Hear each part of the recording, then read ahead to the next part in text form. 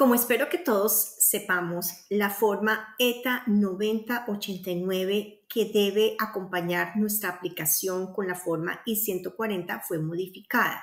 Tenemos una nueva forma ETA 9089 y es esta y únicamente esta la que debemos enviar con nuestra petición I-140. Ya en el canal tenemos un video acerca de esa forma ETA 9089, pero la versión anterior que ya no debe seguirse usando. Vamos a ver cuál es esa forma y qué es lo que tenemos que diligenciar. Un saludo súper, súper especial para todos ustedes. Bienvenidos a mi canal, su canal en Hablemos de Inmigración con Marta Salgado. Veamos entonces la nueva forma ETA 9089 en este tutorial para que ustedes tengan esta herramienta y lo adjunten a su proceso. Muy bien, aquí tenemos la página del Departamento de Labores que les voy a dejar el link para que ustedes abran esta, esta página y aquí van a encontrar la forma ETA 9089. Aquí está y lo que está aquí que ustedes ven en rojo son las formas que tenemos que abrir para nuestra aplicación. Entonces, cuando ustedes abran esta página, van a la forma ETA 9089, aplicación para eh, empleados permanentes, para la certificación de empleados permanentes. Esta es la primera que tenemos que abrir. Luego nos vamos a la ETA 9089 apéndice A, que es el que tenemos que anexar, y nos vamos a la forma ETA 9089 Final Determination. Entonces son tres, tres eh, links que tenemos que abrir para diligenciar. Van a ver que no es para nada complicado pero se los dejo aquí, se los muestro para que ustedes sepan directamente cuáles son los links que vamos a abrir. Forma ETA 9089, certificación para aplicación de empleado permanente. Forma ETA 9089, apéndice A. Y la forma ETA 9089, la determinación final. Es bien importante que ustedes también entren al link y se informen acerca de esta forma ETA 9089. Aquí vamos a encontrar las instrucciones generales de la ETA 9089 y pues eso les, va a dar eh, cierta seguridad y certeza respecto de lo que están manejando. Entonces vamos a ver cuál es la primera forma. Es esta. Cuando ustedes entran a ese link, yo ya lo tengo listo porque ya vi, ya lo analicé, ya lo he trabajado, entonces ya quiero mostrarles a ustedes qué tienen que hacer. Este primer link lo van a llevar a esa primera forma. Eh, la Oficina de Inmigración, ¿por qué nos pide esta forma ETA 9089? Esta forma se acompaña para la certificación laboral. Es lo que se envía al Departamento de Labores, para que nos expidan una certificación laboral.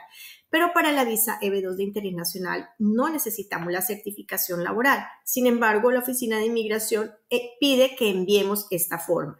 Normalmente esta forma la trabaja la forma I-140 se envía para, al Departamento de Labores para la certificación laboral y una vez que es aprobada esa certificación laboral, esa copia de esa forma ETA y original se envían a la Oficina de Inmigración para demostrar que existe la certificación laboral, que ya el Departamento de Labores hizo su trabajo. Con la EB12 no lo necesitamos, pero como les decía, así lo pide UCIS, entonces tenemos que hacerlo. Otro aspecto importante es que en la anterior instrucción hablaba que se enviaba un original, el original de la ETA 9089 y una copia. O sea, va en duplicado, original y copia. No encontré nada que dijera algo distinto para enviar únicamente el original o enviar una copia, así que para sobreabundar y no cometer errores, enviemos una copia y un original. Entonces se hace el original y se envía. Bueno, esta es la forma ETA 9089 y aquí tenemos el acápite A que dice información del empleador. Esto no aplica porque no tenemos un empleador. El acápite B nos dice eh, puntos de contacto del empleador. Tampoco aplica. Nos vamos a la segunda página y en esta página el punto C nos dice información del agente o del abogado. Hay tres opciones en este primer recuadro que dice abogado, nos dice agente y nos dice ninguno. Si tenemos abogado, pues obviamente el abogado diligencia esto. Eh, si tenemos un agente, se pone el nombre del agente y si no lo estamos haciendo por nosotros mismos, se marca ninguno. Y obviamente pues va vacía la información. Em, aquí va pues obviamente las preguntas acerca de la información del abogado, la licencia, etc. En el punto D tenemos información acerca del trabajador extranjero y hay dos preguntas. La primera pregunta es si se ha eh, diligenciado el apéndice A y entonces tenemos que decir que sí, porque el apéndice A es el que vamos a enviar.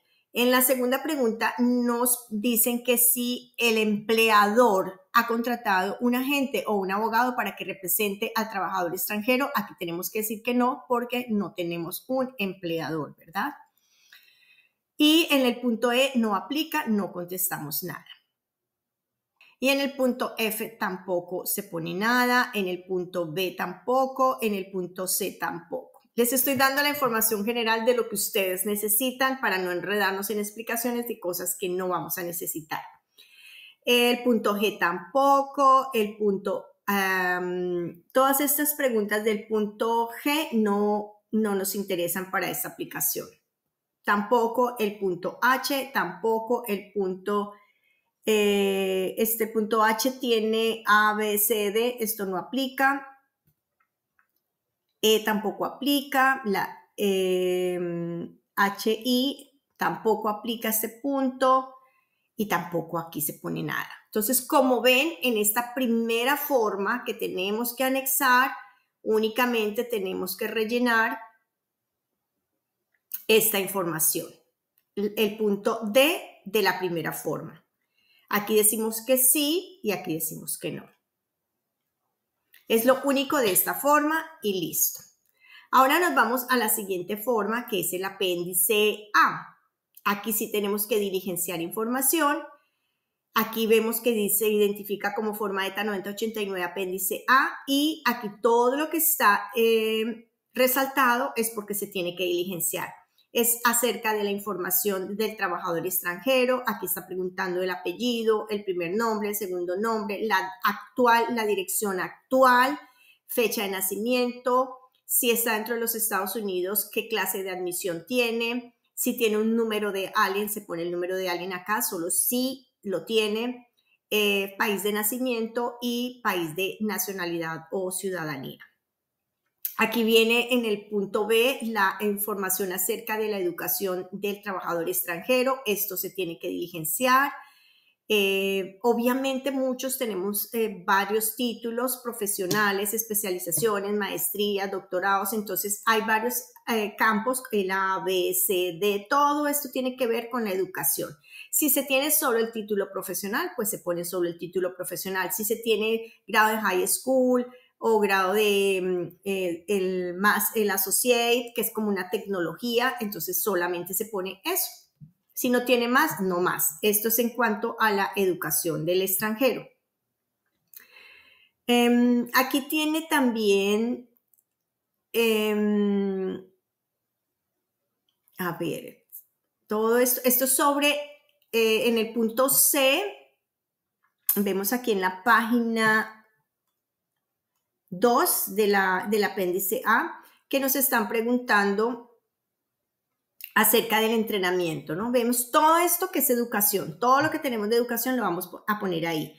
Luego viene en el punto C, que es los calificaciones y entrenamientos, que si se tienen licencias, o sea, no necesariamente los grados de escolaridad, sino todos esos cursos que nosotros podamos eh, demostrar que hemos cursado y que sirven para nuestra, nuestro proyecto, ¿verdad?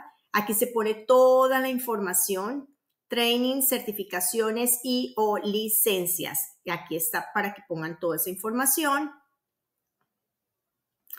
Em, y en el punto D nos están preguntando acerca de habilidades, destrezas, proficiencia en el campo profesional. Entonces aquí se pone cuáles son esas habilidades eh, en, este, en este campo. Lo mismo está aquí una segunda posibilidad para que todos aquellos que tienen más de una habilidad o destreza lo puedan este, exponer o certificaciones, ¿no? Em, aquí viene en el punto E la experiencia laboral, entonces toda la experiencia laboral se tiene que poner acá, el nombre del empleador, las direcciones, la ciudad, el país, el código postal, el estado, el título del, del trabajo, de la ocupación, cuándo empezó, cuándo terminó, si actualmente está trabajando y las horas de trabajo por semana.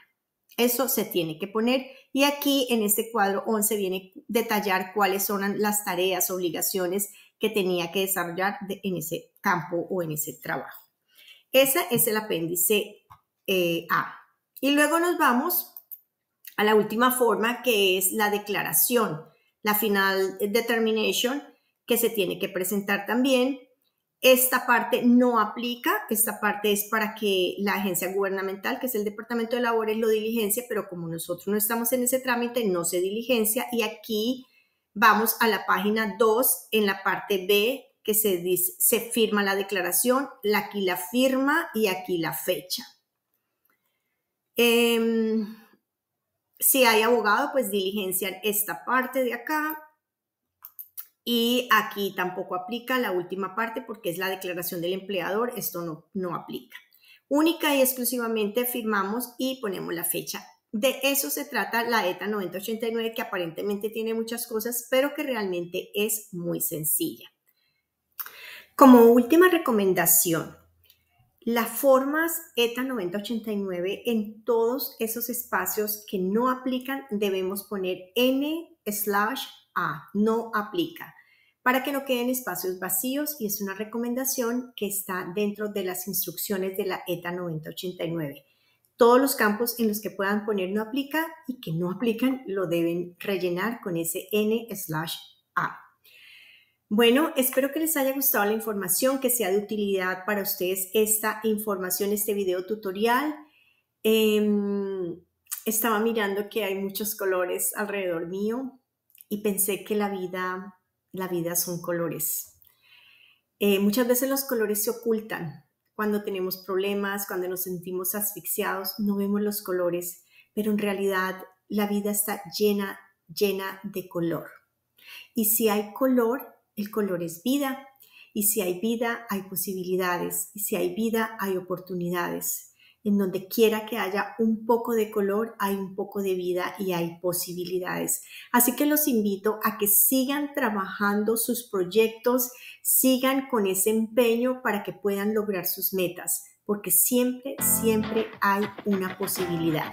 Espero que les haya gustado la información. Si les gustó, den un like, suscríbanse al canal y compartan la información. Nos vemos en el siguiente video.